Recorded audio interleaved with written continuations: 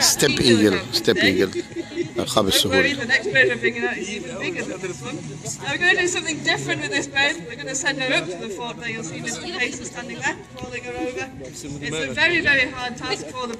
شوف هلا شاف أستاذ سامة في واحد هناك بيأشر عليه.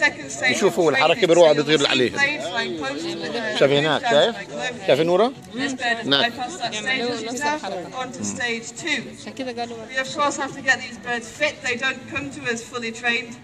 Unfortunately. It would be quite helpful if they did. But hopefully she will head over there. Um, and she is quite a nice bird to look at as she flies actually. Now she is also a juvenile bird, approximately three or four years old. We can tell again by the colour of her feathers.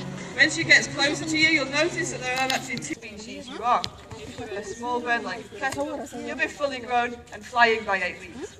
For an eagle, though, can take up to two years to be completely grown and fully feathered, so it's quite a hard task for parents to um, ensure survival for the eagles. Kestrels and owls survive quite well. Go on then.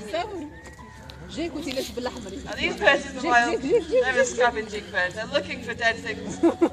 Again, most of the birds do. But this bird primarily will look for dead things. She can hunt, but they are very lazy. مختلفة اللون فريسه القامق يدل على أنه حديث النمو كما أن هذا الطائر يشعر دائما بالجوع بسبب عملية استفراغه من أكل الفريسة بشعره ووبرها فميزه الله سبحانه وتعالى بهذه And uh, there we go. Funny little bird. Okay, so that's the steppe eagle for you.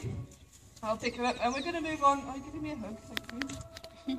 we're going to move on to a larger eagle. Come on then.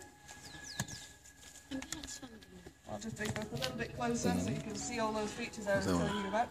You'll notice as well occasionally water droplets dripping from the beak. This is how these birds sweat. If they sweated like we did, they would get very wet and they wouldn't be able to fly. You can see a little drop dripping off there. The water comes out of their noses and falls down over their beak, cooling themselves down and uh, keeping themselves nice and dry. Okay, we'll stick you away. You can see again the big fat chunky feet there. Very powerful, but not very big to hold on to things with.